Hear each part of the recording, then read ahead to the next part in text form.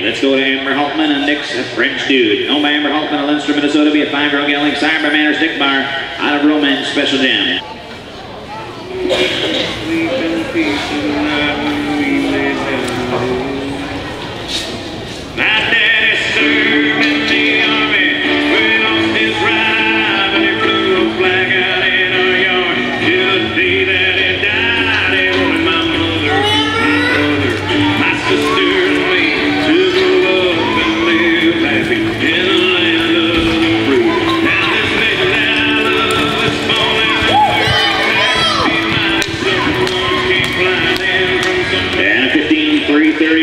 Fifteen and 331.